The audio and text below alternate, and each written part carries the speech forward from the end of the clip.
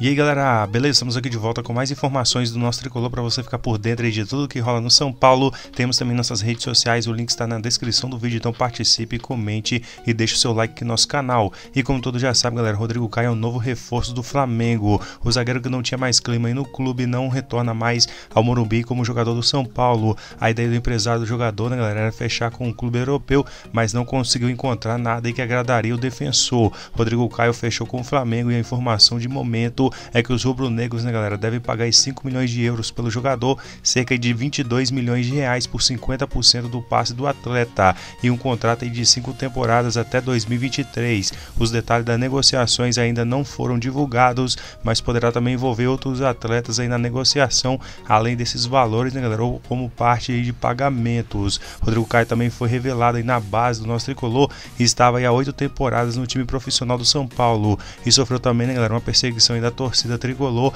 considerado também um pé frio nas partidas. Chega também ao Flamengo após a saída de Hever, que vai defender o Atlético Mineiro. O Rodrigo Caio, né, galera, deve também fazer exames aí nos próximos dias na Gávea e assinar um contrato aí nos próximos dias. Com isso aí, né, galera, o São Paulo se livre de Rodrigo Caio, que também uma parte dos torcedores do nosso tricolor acredita aí também, galera, que ele vai dar a volta por cima no Flamengo e ser um dos melhores defensores aí no futebol brasileiro. E outros também, galera, agradecem a saída do defensor da equipe do São Paulo. Bom, galera, então deixa sua opinião sobre a negociação do jogador que não é mais jogador da equipe do nosso São Paulo. Bom, galera, espero que vocês tenham gostado da informação. Se você gostou, deixa o likezinho, comente sobre o assunto, se inscreva no nosso canal que sempre temos notícias aí no nosso tricolor. Forte abraço, fiquem com Deus e até a próxima.